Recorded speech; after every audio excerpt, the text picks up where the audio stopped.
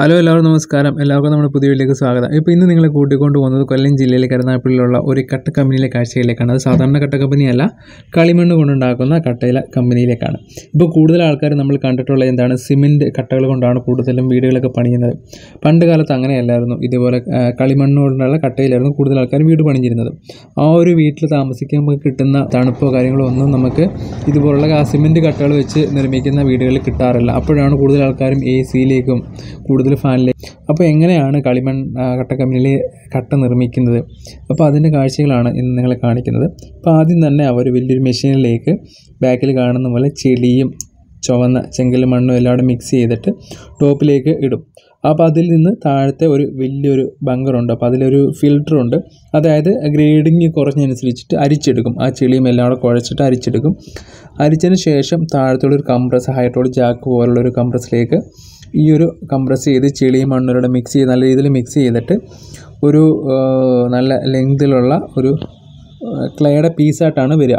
അപ്പോൾ ഈ ഒരു പീസ് പുറത്തോട്ട് വരുമ്പോൾ അവരത് കട്ട് ചെയ്തിട്ടാണ് പല കട്ടുകളിലേക്ക് എടുക്കുക. ഇതാണ് അതിന്റെ ടോപ്പിലെ മുകളിലത്തെ കാഴ്ചകൾ അതായത് ചെളിയും ചുവന്ന മണ്ണും എല്ലാം കൂടെ മിക്സ് ചെയ്തിട്ട് അവർ ആ ഒരു ബങ്കറിലേക്ക് ഇടുകയാണ്.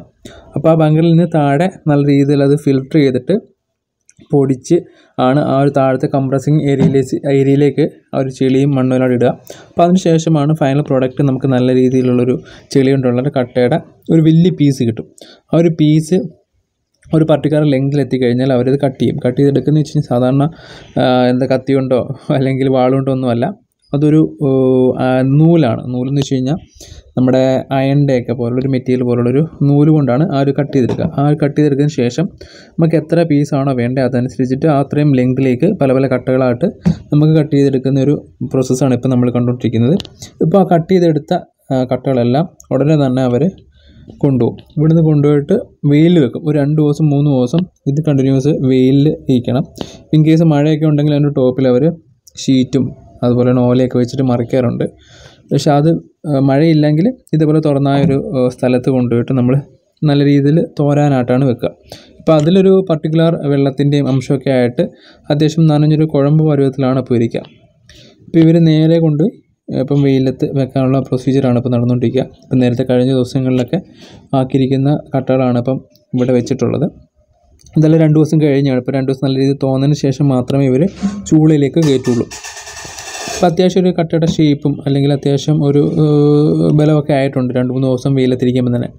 അത് എങ്കിലും നമുക്ക് ആ ഒരു കട്ടയുടെ കളറിലേക്ക് എത്തണമെങ്കിൽ ചൂളയിൽ വെച്ചിട്ട് നല്ല രീതിയിൽ തികത്തിച്ചിട്ട് രണ്ട് ദിവസം കഴിയുമ്പോഴൊക്കെയാണ് നമുക്ക് ആ ഒരു കറക്റ്റ് കട്ടയുടെ കളറും ഷേപ്പും സ്ട്രെങ്ത്തും ഒക്കെ കിട്ടുക.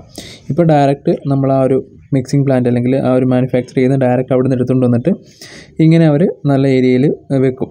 വെച്ചിട്ട് രണ്ട് ദിവസം മൂന്ന് ദിവസം കഴിഞ്ഞ ശേഷം വീണ്ടും ഇളക്കി വെക്കാറുണ്ട്. ഇപ്പം നമ്മൾ വെക്കുന്ന പൊസിച്ചിൽ നിന്ന് തിരിച്ചു മറിച്ചൊക്കെ വെക്കും. അപ്പം ആ ഒരു കട്ടയുടെ എല്ലാ സൈഡിലും നല്ല രീതിയിൽ വെയിൽ കൊണ്ടിട്ട് ആ ഒരു നനവെല്ലാം മാറിക്കിട്ടാൻ വേണ്ടിയാണ് അങ്ങനെ ചെയ്യുക. അപ്പോൾ ഇതാണ് നമ്മുടെ ചെളിയും മണ്ണും എല്ലാം കൂടെ കൂട്ടിയിട്ടിരിക്കുന്ന ഏരിയ ഈ ഒരു ഏരിയയിൽ നിന്ന് ഈ ഒരു ചുവന്ന മണ്ണും അല്ലെങ്കിൽ ചെങ്കലെന്നൊക്കെ പറയും. അതും ചെളിയും നല്ല രീതിയിൽ മിക്സ് ചെയ്തിട്ടാണ് ഇതിന്റെ ടോപ്പിലേക്ക് വെക്കുക. ഇപ്പോൾ രണ്ട് മൂന്ന് ദിവസം നമ്മൾ പുറത്ത് വെച്ചിട്ട് നല്ല രീതിയിൽ തോന്ന കട്ടകളാണ് ഇവിടെ അടുക്കിയിരിക്കുന്നത്. ഇവിടെ പല പല ഹോൾ വെച്ചിട്ടുണ്ട്. ഈ ഹോളിലേക്കെല്ലാം ഒരു പല പല വിറകുകൾ ഇട്ടിട്ടുണ്ട്. അപ്പോൾ ഫൈനലി അതെല്ലാത്തിനും ശേഷം നമുക്ക് കത്തിക്കാൻ വേണ്ടിയാണ്. കത്തിച്ച് ഏകദേശം ഒരു മൂന്ന് നാല് ദിവസം എടുക്കും എന്നാണ് ഇവർ പറഞ്ഞത് കത്തിക്കഴിയുമ്പോഴത്തേക്കും. ഇപ്പം കത്തിക്കഴിഞ്ഞൊരു ഫൈനൽ പ്രോഡക്റ്റാണ് ഇരിക്കുന്നത്. ഇപ്പോൾ രണ്ട് സെക്ഷൻ ഉണ്ട് ഇവിടെ. ഇപ്പോൾ ഒരു ചൂളയിൽ നമ്മൾ പുതുതായിട്ട് അടിക്കൊണ്ടിരിക്കുന്നു. അടുത്തൊരു ചൂളയിൽ ഇത് കത്തിച്ചതിന് ശേഷം ഒരു സെയിലിന് വേണ്ടി റെഡി ആയിരിക്കുന്ന കട്ടകളാണിത്. ആ ഒരു കട്ടകളുടെ കളറും സ്ട്രെങ്തും ഒക്കെ നിങ്ങൾക്ക് കണ്ടപ്പോൾ തന്നെ മനസ്സിലാവും. പക്ഷേ നല്ല സ്ട്രോങ് കട്ടകളാണ്. ഇത് വെച്ചൊക്കെ വീട് കിട്ടിയാൽ തന്നെ വീട്ടിൽ നല്ല സ്ട്രെങ്ത് ആയിരിക്കും. അതുപോലെ തന്നെ വീട്ടിൽ അത്യാവശ്യം ചൂട് വളരെ കുറവായിരിക്കും. എങ്കിലും ഇപ്പോഴും പല ഏരിയകളിലും ഇതുപോലുള്ള കട്ടകൾ വെച്ചിട്ട് വീട് വെക്കാറുണ്ട്. എങ്കിലും കൂടുതലും ആൾക്കാർ ഒരു ജോബ് പെട്ടെന്ന് തീരും എന്ന രീതിയിലാണ് സിമെന്റ് കട്ടകൾ ഉപയോഗിക്കുക. സിമെന്റ് കട്ട ഇതിനായിട്ട് വലിയ സൈസ് ആയതുകൊണ്ട് തന്നെ പെട്ടെന്ന് പണി തീരും. എങ്കിലും നമുക്ക് ഇത് കിട്ടുന്ന ഇത് വിട്ട് കെട്ടിക്കെട്ട് താമസിക്കുന്ന ഒരു വീടിന്റെ സുഖമോ കാര്യങ്ങളൊന്നും കിട്ടത്തില്ല. സ്ട്രെങ്ത് എന്തായാലും ഇതിന് തന്നെയായിരിക്കും കൂടുതലായിട്ടുള്ളത്. പക്ഷേ കട്ടുകൾ കൂടുതൽ വേണം എന്നാണ് ഇതിന്റെ ഒരു പ്രത്യേകത. പക്ഷേ ഈ ഒരു കട്ടയ്ക്ക് ഏകദേശം എട്ട് രൂപയാണ് ഇപ്പം നിലവിൽ പ്രൈസ് റേഞ്ച് വരിക. അത്യാവശ്യം ചെറിയൊരു വീടുകളൊക്കെ ആണെങ്കിൽ പത്ത് ഇരുപത്തയ്യായിരം കട്ടകളൊക്കെ വേണ്ടി വരും. എങ്കിലും സിമെന്റ് കട്ടകളാണെങ്കിൽ വളരെ കുറവ്. മതി എങ്കിലും സിമെന്റ് കട്ടകൾക്ക് അത്യാവശ്യം വിലയുണ്ട്. ഇപ്പോൾ മുപ്പത് രൂപ നാൽപ്പത് രൂപ റേഞ്ചിൽ സിമെന്റ് കട്ടകൾക്കും ഉണ്ട്.